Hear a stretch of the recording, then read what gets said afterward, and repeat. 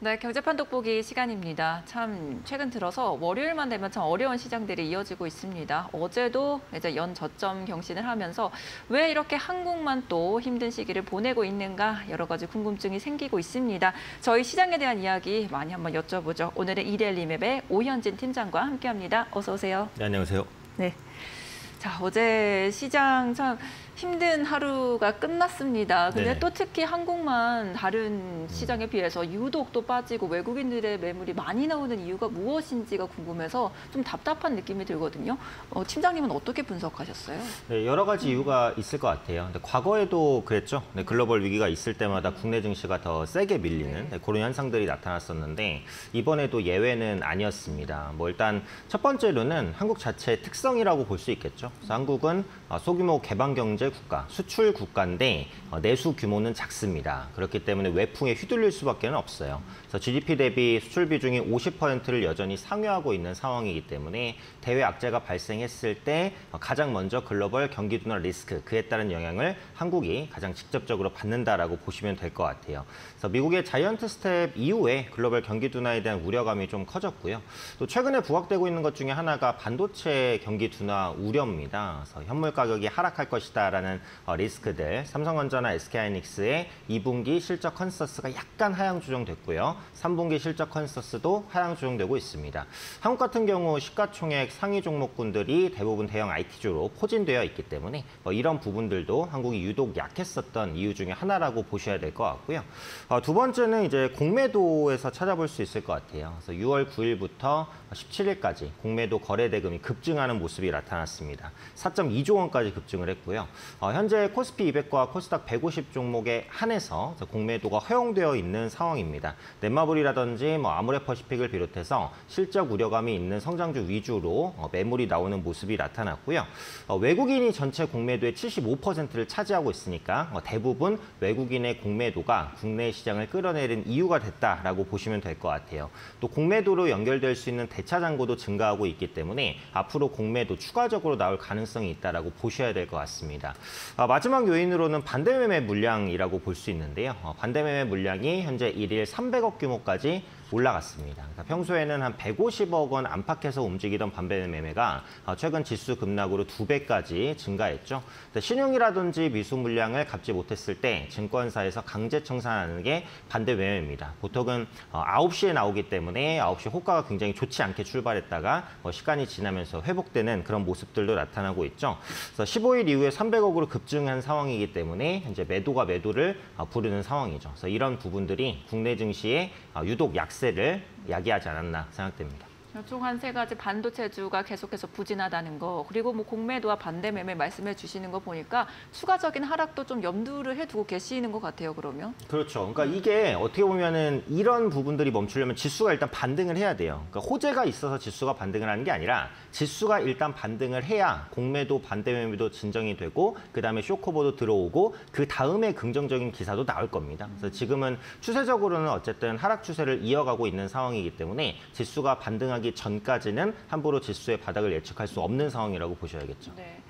근데 이제 전일 생각해보면 외국인들의 매도세가 굉장히 거셌다라는 게 좀 시장에 큰 영향을 줬었는데 지금 환경적으로 이제 다시 한번 뭐 7월이나 다시 또 자이언트 스텝을 한다라고 한다면 네. 한미 금리차가 역전되는 선상도 나타날 거고요.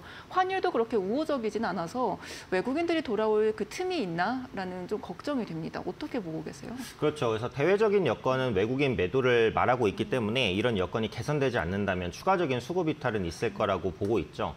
어, 지금 미국이 자이언트 스텝을 하면서 기준금리가 1.5에서 1.75%, 한국은 1.75%, 사실상 같은 수준이라고 보시면 될 것 같습니다. 근데 문제는 금리 인상이 여기서 끝이 아니라는 거죠. 그래서 앞으로 연준이 50bp 인상을 연속 두 번으로 할 것으로 보여져요. 물론 한국은행에서도 금리를 올리기는 할 겁니다. 그래서 이번에 50bp를 올릴 수도 있기는 한데 미국처럼 50bp 연속 인상은 아마 어려울 거예요. 그러니까 국내적인 경제 여건도 감안을 하고 부동산 시장도 엮여 있는 부분이기 때문에 그렇기 때문에 어쨌든 기준금리는 역전된다라고 보시는 게 맞습니다.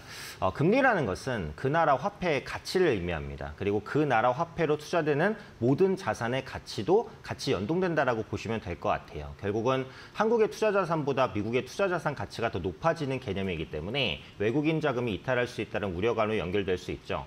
물론 이제 과거 사례를 보면 기준금리가 역전된 적이 한 세 번 정도 있었을 때 외국인의 자금이 빠져나가는 모습은 보이지 않았습니다. 하지만 그건 어쨌든 과거의 사례고 기준금리 역전은 어, 외국인 자금 이탈 요인인 것은 맞기 때문에 이에 대한 어떻게 보면 경계감 좀 필요하다라고 생각을 하고 있고요. 일단 외국인 자금이 빠져나가는 게 좀 멈추려면 원달러 환율이 안정이 돼야 됩니다. 근데 어, 지금 환율이 너무 가파르게 올라오기는 했어요. 그러니까 서브프라임 이후로 원달러 환율이 1,300원에 육박한 적은 없었습니다. 이게 이제 십몇 년 만에 거의 최고치이기 때문에 여기서 환율이 더 뚫고 1,350원, 1,400원 이렇게까지 갈 것이냐? 저는 그렇게 보지는 않거든요. 그래서 원달러 환율이 여기서 추가적인 상승을 보여도 그 상승폭은 좀 제한적이지 않을까 싶고 외국인 수급 이탈도 지금 국내 주식 비중을 보시면 13년 내 이미 최저치예요. 지금 코스피 시장에서 외국인이 가지고 있는 주식 비중이 30%, 그러니까 평년에 이제 30%에서 40% range를 왔다 갔다 하는데 지금 30%까지 떨어져 있기 때문에 거의 팔 만큼 팔았습니다. 그래서 외국인의 추가 자금 이탈이 나올 것으로 보이기는 하지만 뭐 그 규모가 엄청나게 많을 것으로 보지는 않아요. 그래서 저는 개인적으로 어, 환율 급등도 어느 정도 왔고 외국인 수급 이탈도 어느 정도 왔다. 다만 여기서 조금은 더 나올 수 있으니까 어, 이번 달 말까지는 조금 주의를 하고 어, 다음 달부터는 좀 기대를 해볼 수 있지 않을까 판단합니다. 네, 외국인들의 자금 뭐 팔만큼은 이제 판 것 같다 이렇게 좀 판단을 해주셨습니다. 저희가 그러면 업종별로 한번 살펴보면서 어떻게 전략을 세워볼지 하나하나 여쭤볼게요.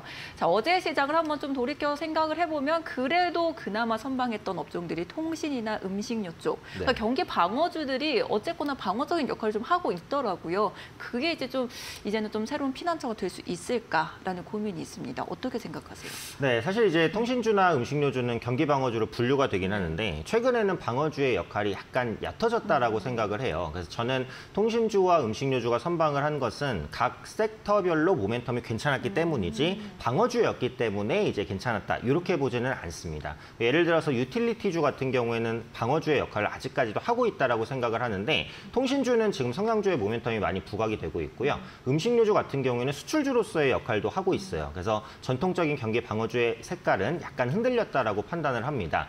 어, 그래도 개별 이슈는 좋죠. 그래서 통신주는 방어주와 성장주의 매력을 동시에 보유하게 됐습니다. 그래서 5G가 보급되면서 ARPU가 증가하고 그에 따른 수익성 개선이 이루어지고 있고요. 요즘은 통신사에서도 신사업을 엄청나게 많이 추진을 하고 있어요. 뭐 콘텐츠라든지 메타버스, 뭐 블록체인, 뭐 지금 말씀드리지 않은 여러 가지 신사업들을 추진하기 때문에 어, 성장주로서의 매력을 같이 가지고 있습니다. 이 두 가지가 부각되면서 어, 현재 시장에서 선방하는 모습을 보여주고 있고요. 음식료주 같은 경우에는 원가 부담을 판매가로 전가할 수 있는 능력이 있죠. 그러니까 지금 곡물 가격 인상이 음식료주에는 원가 부담으로 작용하는 건 맞는데 판매 가격 인상으로 어쨌든 그걸 소비자한테 전가할 수가 있습니다. 그렇기 때문에 수익성 방어는 앞으로도 계속된다라고 보시면 될 것 같고요. 예전에는 내수주에 한정돼 있었던 게 음식료주라면 최근에 수출 비중 늘어나고 있죠. 농심 같은 경우 수출 비중이 33%, 삼양식품은 50%입니다. 그래서 앞으로도 계속 높아질 수 있기 때문에 어, 내수와 수출이 동반 성장하고 있다는 것도 음식료주의 매력이라고 보시면 되겠죠. 그래서 앞으로 통신주와 음식료주는 말씀드렸던 이런 매력으로 인해서 어, 시장을 상회하는 성과를 이어갈 것으로 판단하고 있습니다. 네, 이제 경기 방어주적인 성격으로 보기에는 사업 구조가 많이 변화되고 있으니 그런 네네. 부분을 좀 쫓아가시면서 뉴스도 한번 보시면서 그렇게 종목 선별을 해보시는 게 좋을 것 같습니다. 자, 그리고 또 특이했던 점 하나를 또 꼽아보자면 2차 전지 관련 주였던 것 같아요. 어, 한 번 조정을 받은 이후로 2차 전지 쪽이 외국인들이랑 뭐 기관 쪽에서 지금 매수세가 들어오면서 어제 시장에서도 꽤 괜찮은 흐름을 보여줬거든요. 네네. 원래는 또 소재만 좋다가 셀 메이커까지도 같이 좋아지는 모습들이 나타나고 있어서 이, 이쪽은 또 지금 투자하기에는 어떻게 생각하시는지도 궁금합니다. 그러니까 지금 이제 시장의 하락이 그러니까 금리 인상에 대한 리스크에서 경기 둔화 우려감으로 옮겨갔거든요. 그렇죠. 근데 경기 둔화에도 불구하고 성장할 섹터가 뭐냐? 음. 그게 이제 2차 전지라는 거죠. 네. 그래서 그런 이런 부분들이 어, 견조한 흐름을 만들어냈다라고 보고 있습니다. 어, 글로벌 전기차 시장은 연평균 50%대 고성장을 이어나갈 것으로 보입니다. 특히 시장 규모가 가장 크다고 볼 수 있는 중국과 인도 시장에서 한 60%대 정도 고성장을 이어가고 있고요. 전기차 충전 인프라가 많이 구축이 됐죠. 그리고 친환경 정책, 그리고 정부 지원 이런 부분들이 맞물리면서 전기차가 상용화에 대한 시대를 작년부터 열고 있다라고 보시면 되겠습니다. 또 전기차의 가장 큰 단점이라고 볼 수 있는 게 배터리 가 격이 너무 비싸다. 이 부분이었는데 기술 발전으로 인해서 매년 15에서 20% 정도 배터리 원가 절감을 이루어냈어요. 그래서 지금은 정부 지원금만 조금 있으면 휘발유차에 뒤지지 않는 경쟁력을 갖췄죠. 그래서 이런 부분들이 대중화로 좀 가는 길이라고 보시면 되겠고요. 또 하반기에는 차량 반도체 공급 차질이 좀 완화될 것으로 보여지고 있어요. 전기차도 지금 수요를 공급이 따라가지 못하는 네, 그런 환경이 형성되고 있습니다. 차량 반도체 부족 문제가 장기화가 되고 있는데 최근에 반도체 업황 둔화 우려감이 있잖아요. 그게 이제 수요 부족에서 오는 거거든요. 그렇다는 것은 공급 측면의 그 막힌 맥은 좀 뚫린다라는 관점입니다. 그래서 이런 부분들이 해소가 되면 어, 전기차 시장이 조금 더 빠르게 강력하게 성장하지 않을까라는 기대감도 수급 유입 요인이 되고 있다라고 보시면 되겠고요. 가장 중요한 건 실적이겠죠. 네, 2차 전지 소재주 2분기 호실적이 전망이 됩니다. 2분기 영업이익 전망치를 보면 그 에코프로비엠이 전년 동기 대비해서 124% 그리고 LNF는 1120% 급증할 것으로 보여지고 있기 때문에 역시 실적 모멘텀이 뒷받침되고 있다고 보시면 되겠습니다. 네, 좋습니다. 2차 전지 전기차 관련해서는 자 그럼에도 불구하고 성장하는 쪽이 어디냐라고 꼽아본다라면은 이제 이쪽 섹터가 될 것 같고 그게 이제 실적까지도 뒷받침되고 있다 라고 평가를 했습니다.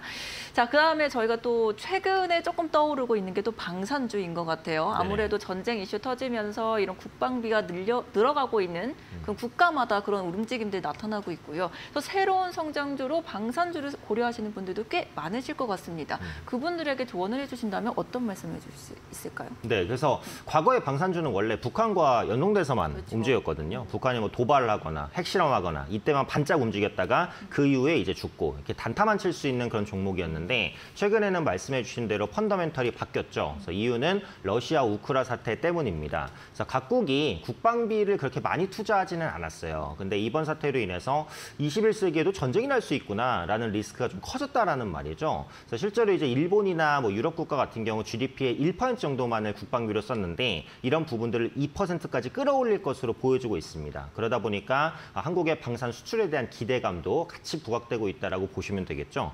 그래서 올해 방산 부분 수출은 100억 달러를 상회할 것으로 전망이 됩니다. 그래서 1월 4조 원대 청궁 지대공 미사일 수출 계약이 있었고 2월 달에 K9 자주포 수출 계약이 있었어요. 그래서 글로벌 무기 시장이 고성장하고 있고 한국 업체가 여기서 중요한 역할을 할 수 있다라고 보시면 될 것 같고요. 어, 누리호도 마찬가지예요. 그래서 오늘 2차 발사가 이제 성공하고 궤도 안착까지 되게 된다면 한국의 우주항공 기술력이 좀 부각이 되겠죠. 보통 방산주는 우주항공 기술과 이제 같이 이제 연관돼서 움직이는 경향이 있으니까 이런 부분들도 방산주의 성장 모멘텀을 계속해서 부각시키고 있죠. 뭐 대표적으로 항공항공 우주 같은 경우 앞으로도 고성장을 이어갈 가능성이 높다라고 보고 있습니다. 네, 그럼 마지막으로 저희가 정유주도 한번 어, 전략 점검을 해 볼게요. 내가 보유하고 있다면 사실 지금 유가도 변동성이 굉장히 심한 상태여서 어, 이걸 어떻게 해야 되나? 아, 그래도 실적이 좋은 거는 믿을 수 있는 거니까 끌고 가야 되나?라는 고민이 좀 있습니다. 어떻게 해보면 좋을까요? 국제유가가 최근에 흔들렸는데 그 단기적인 요인 때문에 흔들렸지 어, 추세적인 우상향 추세가 끝난 거라고 생각하지는 않습니다. 여전히 수요 대비해서 공급이 타이트한 상황이 유지되고 있기 때문에 어, 유가는 다시 한번 반등하는 흐름을 보일 가능성이 높다라고 보고요. 그런 관점에서는 당연히 투자 매력이 있죠. 그래서 재고 차익 과 정제 마진 여전히 견고합니다. 어, 정제에서 이제 판매하는 시차가 3개월에서 5개월이기 때문에 국제유가가 3개월, 5개월 전보다 높으면 재고 차익을 보정 여전히 차익을 보는 수준이고요. 정제 마진 같은 경우 평년 6달러인데 지금 배럴당 20달러 이상까지 올라왔어요. 평년의 3배입니다. 그래서 어마어마한 이익을 낸다라고 보시면 될 것 같아요. 그래서 관련해서 뭐 정유주, SK이노베이션, 그다음에 GS, 뭐 S오일 네, 이런 종목군들 있죠. 하락할 때마다 모아가시는 전략 충분히 가능하다라고 보기 때문에 급 하게 사실 필요는 없지만 조정을 보일 때는 분할 매수 가능하다. 이 정도로 보시면 될 것 같고요. 보유하고 계신 분들은 조금 실적 발표 있을 때까지 길게 보유하시는 게 유리할 것 같습니다. 네, 조금 더 실적 발표 때까지는 지켜보자라는 관점이었고요. 최근에 뭐 이렇게 포트폴리오 정해야 된다 이런 조언들 많이 해주시더라고요. 그럼 어떻게 정리하는가 그 방법론도 좀 궁금해. 요 어떤 걸 덜고 어떻게 어떤 것도 추가를 해보고 그래 어떻게 해봐요? 그 기준을 좀 설명해 주시죠. 일단은 웬만하면 보유하셨으면 좋겠어요. 워낙에 지수가 많이 빠졌잖아요. 그래서 지금 매도하는 건 제가 볼 땐 그렇게 크게 의미는 없는데 그래도 내가 포트가 20종목, 30종목, 백화점이야. 너무 많아서 이제 압축을 해야겠다라고 하시면 첫 번째로는 실적이겠죠. 그래서 반드시 2분기 실적 혹은 하반기 실적에 대한 consensus가 괜찮고 실적 대비 저평가 종목, 매력이 있는 종목 위주로 압축을 하시는 게 좋다라고 보고 있고요. 두 번째로는 이제 규모입니다. 지금은 중소형주보다는 대형주를 보유하시는 게 훨씬 더 유리하다라고 봐요. 왜냐면 외국인 수급이 들어올 때 대형주부터 들어올 것으로 보이니까. 그래서 중소형주와 대형주 중에서는 또 중소형주는 반대 매매 리스크도 있으니까요. 어, 대형주 위주로 조금 더 압축하시는 게 좋을 것 같고 섹터로는 이제 앞서 말씀드린 음식료 섹터 그리고 reopening주가 실적 컨센서스가 좋기 때문에 이런 섹터 위주로 압축하시면 좀 괜찮지 않을까 말씀드리겠습니다. 네, 저희 이제 시장 약세 흐름 속에서 업종별로 한번 전략 세워봤습니다. 지금까지 이데일리맵의 우현진 팀장과 함께했습니다. 감사합니다. 감사합니다.